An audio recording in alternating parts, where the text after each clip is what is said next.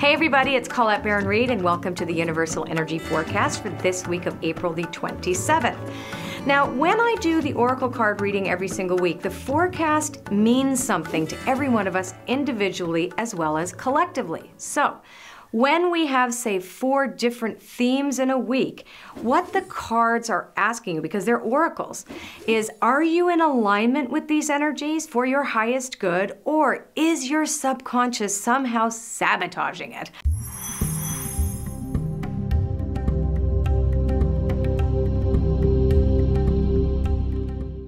So what I want to do is tell you what the energies are and then show you a little bit about how you could learn how to work with them and if you're out of alignment, how to get back into alignment.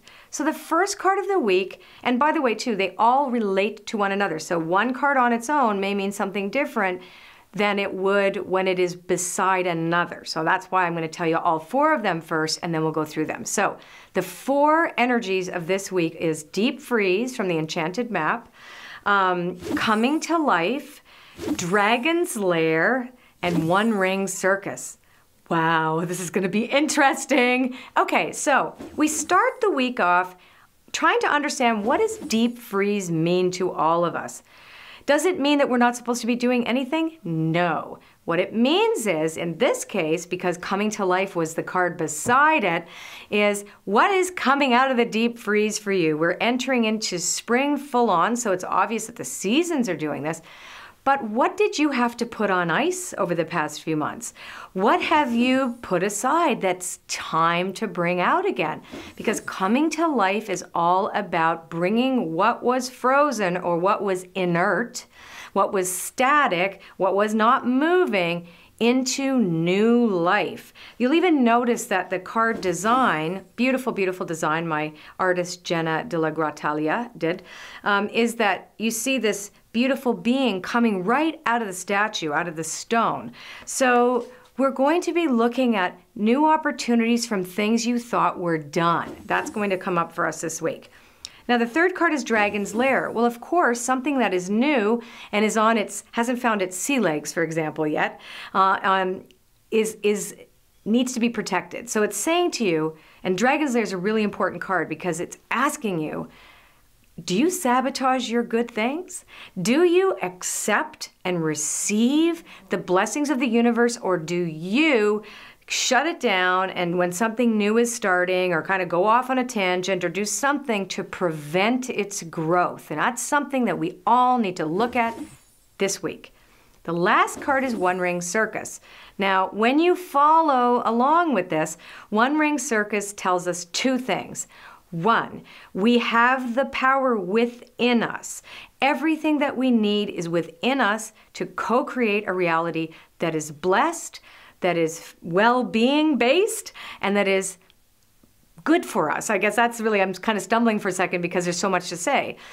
But it also warns us when do you think you're doing everything all by yourself? So the shadow of that is we are a we. We are not solitary beings. The egoic mind or the subconscious mind is going to try to shut you down when new things are coming in that are unfamiliar to you, right? So the deep freeze, remember we went back to coming to life, that's brand new. Something is new. Subconscious goes, whoa, I don't want that new thing. I want to go back to the thing that I didn't really like anyway, but it was familiar this is what we need to be looking at this week.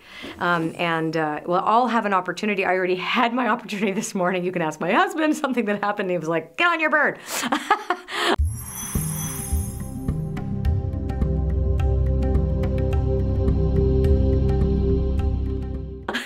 I was like an automatic pilot, and I couldn't even believe that happened.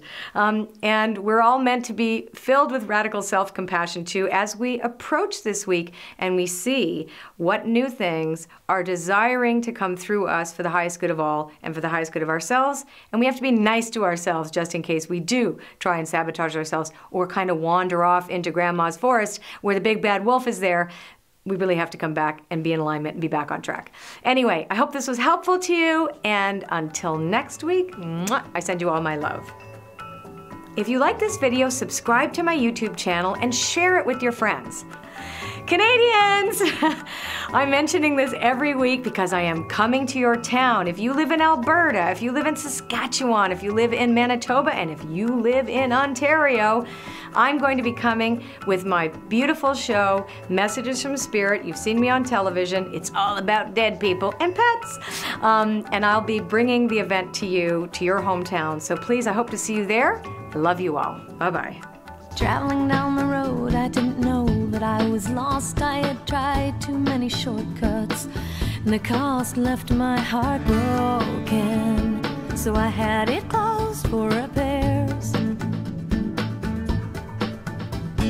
Wandering in my desert,